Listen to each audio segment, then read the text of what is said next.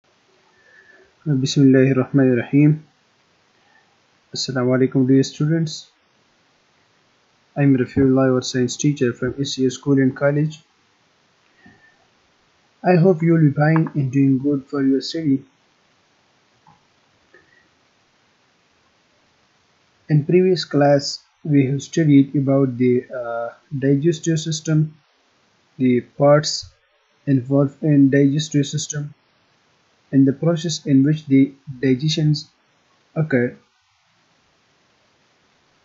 So in this lecture we are going to study the disorders of digestion. So let's begin. In today's lecture we are going to study the disorders of digestion diarrhea and constipation which is available on page number 9 in your book. So first of all we are going to study about the disorders of digestion.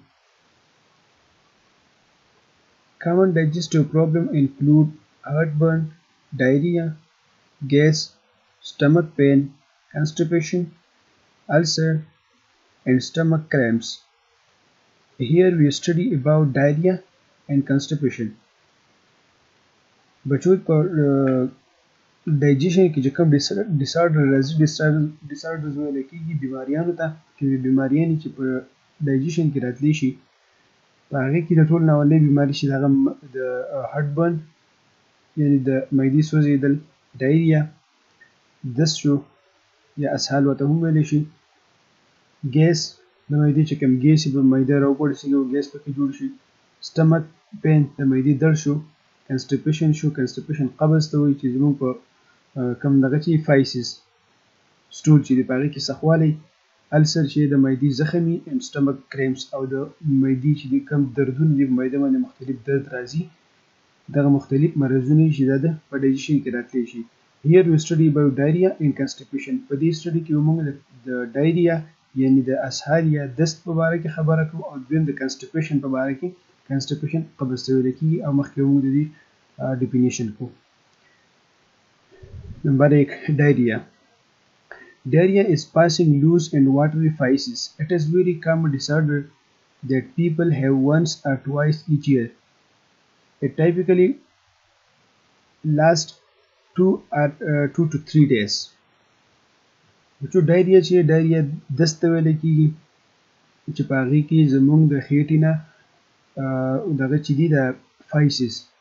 کوم فضله چې دا کوم چې زموږ د بدن نه خارجېږي هغه چې نو هغه داسې لکه د اوبو په شکل کې بلکل نرم وي دوز مطلب نرم وي او واټري د اوبو شاني بلکل په لیکوډ فارم کې او دا چې دا یو کامن ډیس آرډر دی یو عامه بیماري ده چې دا په خلکو باندې په کال کې یو پیره دوه راځي او دا د دوه درې ورځو پورې جاري وي دا یې مې بي کازډ بای انفیکشن بای بکټیریا eating contaminated food, medication, anxiety, excitement and allergies to certain foods etc. ډېر یې چې دا اوس راځي د څه د وجې نه دا کم نرم سټول چې زموږ د بدن نه وځي یا واټر ریفایسز چې هغه زموږ د بدن نه وځي د دې وجې څه دي وجوهات یې څه دي داسې څه نه جوړېږي یعنی دا بیماری د څه شي نه جوړیږي هغه دي بکټیریا جراثیم وغیره دا چیزونه نه شو ایټینګ کنټمینیټیډ فوډ یا ګنده خوراکونه چی د دی د وجی نه کیږي میډیکیشن مطلب دا چی بعضی دوایانی دسی دی چی هغه زمونږ په خیټه باندی بدی راشی او خیټه خرابه شی انزایټی مطلب دا چی د پریشانی د وجی نه هم خیټه خرابیدی شی اکثر پریشانی به سړی راشی د دی د وجی نه هم کیدای شی ځکه چی د هغی د پریشانی یا د ایکسایټمنټ یا د خوشحالی دا دواړه چی دی د دماغ سره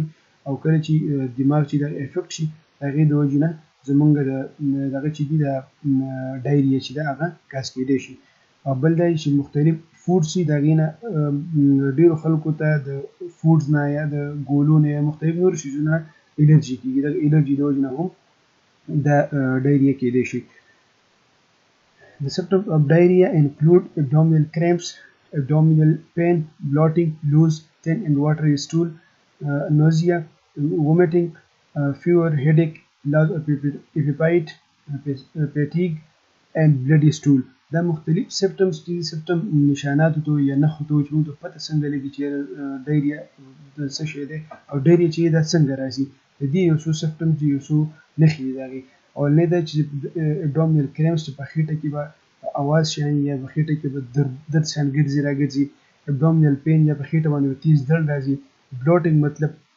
پول نه پول نه دې ته وايي چې خېټه راوپړسېږي، Loose and thin watery stool، او دا فيسز چې دي کوم چې زموږ د بدن نه فارغېږي دا به نرم وي او د اوبو په شکل کې وي، نوز یا نوز یا دې ته وایي چې زموږ کله محسوسوو چې یاره ماله الټي راځي، د الټو کېدو نه مخکې موږ په ګاډي کې سفر کوو یا ځو که چېرته په لاره باندې اکثر څه سیمه سیمه باندې بوی ولګي هغې سلسلې له الټي ورځي هغې ته نوز یا وایي. وومیټنګ چې دی جاري الټو ته وایي کوم چې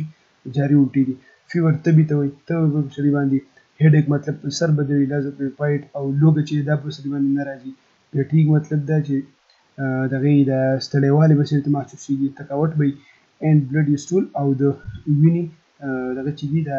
فایسس هغه به کېدې شي ډاکټرز ټریټ د پیشنټ اینډ پرسکرایب سپیسیفیک میډیکیشن ډیپندینګ آن د کنډیشن اف د پیشنټ اوس د دې علاج وسنګ کیږي نو علاج د دې دا چې ډاکټر چې هغه د خپل دغه د مریض د کنډیشن مطابق چې مریض څومره خراب دی ډیر خراب دی هغه مطابق تیز دوا چې لږ خراب دی هغه مطابق کمې دوا یعنی ډاکټر چې دا به ورکړي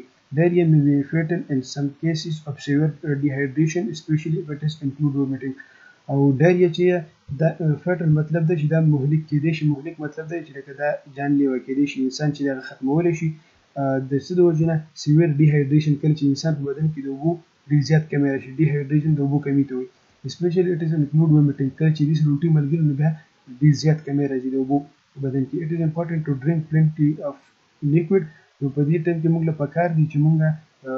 پوره مقدار باندې لیکویډ چې دغه وکړو مطلب دا چې شربتونه وغیره یا لیمن جوس شو دا شیزونه موږ استعمال کوو پیشنټ شوډ ټیک فوډ سچ از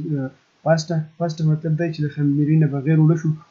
په خمیرې نه بغیر روټي چې دغه به استعمالې بریډ مطلب چې ډبل روټي به استعمالې رایس چاول به استعمالې اینډ پوټیټوز او الوګان چې دا به استعمالې دي دې سره به دغه چې دی د ډایریا دا به کمیږي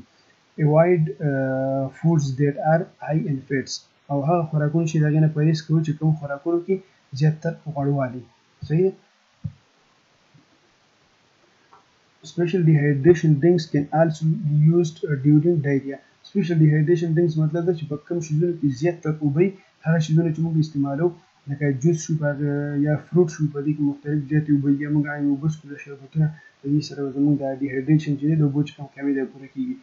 د او د دې لپاره زیات تر پکار دی چې یو شو ډرینک اټ لیست 6 ټو 8 ګلاسز او فلویډ پر پر ډی او د دې لپاره څه پکار چې موږ د پر ورځ کې خامخا د شپږ نواله د اته ګلاسو د فلویډ پر ډی فلوډ مطلب دا چی لکه اوبه یا شربت یا چی کوم فلوډ پام کی هغه مو لس کال پکار دی ډایریا کن بی پریونټیډ بای پالوینګ د ټیپس ګیون بیلو دا مو دا چی دی پریونشن چی دی پریونشن تحفظ ته وایې دینه مونږ ځان څنګ بچ کو د دینه نو دی د پاره یو څو خبری دی څلور خبری دی دلته چی دی هم دی خبری تاسو خیال ساتی نو ډایریا به تاسو ته نه کاز کیږی اولنی چی دی الویس واش هینډ ویت سوپ سپیشلی افټر یوزینګ ټایلټ پلینګ ویت پټس ګارډنینګ اینډ بیفور ټچینګ فوډ اوس چې کله تاسو د کار کوئ مطلب تاسو ټایلټ ته لاړ شئ یا تاسو د وړو ځناور دي لکه پیشو شو یا سپی دې سیزونو سره شوق کې او لوبې ورسره کوي یا ګارډنینګ مطلب دا چې باغباني بوټو له اوبه ورکول شي یا څه او یا سپرې کول شي بوټي ته او یا موږ د فوډ چې دي نور فوډس هغه موږ ټچ کړو نو د هغه نه پس په کار ده چې موږ خپل لاسونه وینځو Wash vegetable and fruit before cooking and eating د ویجیټیبل چې سبزیانې هغه د ویجیټیبلز او فروټ دواړه دغه چې دي پل او پول دواړه دا موږ له پکار دي چې موږ دغه چې دي د خوراک نه یا د پخولو نه مخکې وینځو Uncooked foods are more likely to have bacteria Don't eat uncooked فوډز، کوم خوراک چې پخ شوی نه وي نو په هغې کې زیات تر د بکټیریا چانس وي چې هغې کیبیټ کیږي نو پکار دی چې مونږ څه وکړو مونږ ان کوک خوراک چې هغه نه خورو کیپ کیچن اینډ ټایلټ ایز کلین ایز پاسیبل او څومره چې ستاسو نه مناسب وي نو تاسو خپل کیچن چې دی کیچن مطلب تاسو بورجی خانه کوم ځای کې چې خوراک پخیږي او ټایلټس مطلب چې مونږ په کوم ځای کې پاخانه کوو نو مونږ له پکار دی چې دغه مونږ څومره زمونږ نه کیږي هغه مونږ صفا وساتو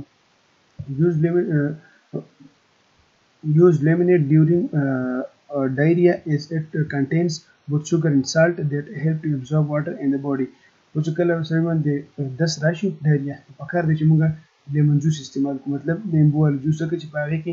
شوګر او سالټ دواړه او د ډایریا سره د شوګر او د سالټ کمی راځي بدن کې نو هغه دې سره پوره کیږي فروټ جوس ود اوټ پلپ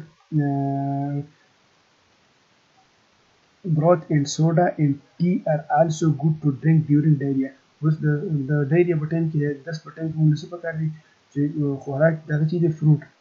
فروټ موږ استعمالو د فروټ جوس استعمالو بل دا چې بروت مطلب دا چې شوروا یا یخني دا استعمالول شو یا چې استعمالول چې د د دس په ټایم کې ډیر خیر چې هغه سره بیا کم د ډیهایډریشن چې شو د وبو کم نه ریکور کیږي During diarrhea do not take any medicine without consulting a doctor اوس ډاکټر د مشورې نه بغیر یو دوی هم استعمالول چې دا نه دي پکار ډاکټر چې چې هغه کوم پریسکرایب کې هغه د کوم دوی نه هدایت وکړي پکار ده چې هغه دوی استعمال کړی شي په دې سره به دمګه مسلې نه او چې څه کاس کیږي هغه به زر واپس ختمیږي دا ټول د ډایریا په باره کې اوس خبره کوو د کانسټیپیشن باره کې Constipation is associated with heart physis or difficulty passing uh, physis. اوس په کنسټیپشن او ډایریا کې فرق څه دی؟ په ډایریا کې چې نو په هغې کې به کم زموږ چې سټول دي